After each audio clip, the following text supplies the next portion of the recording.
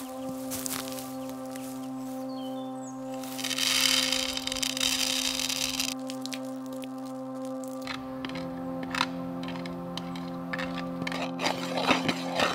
always felt like everyone in my family was really creative and I was always trying to figure out what art form I would fit into, but cooking was it for me.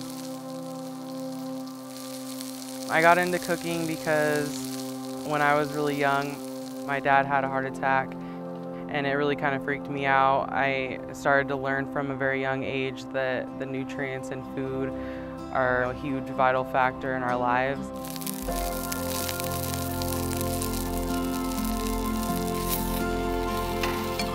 I think that cooking is a really intimate experience and I worked in the restaurant industry very briefly before I decided to start my own company. You know, the reason I got into doing what I do is because in a restaurant there's such like a wall between you and the people eating your food and I just love experiencing people and seeing their joy from eating the food that I create.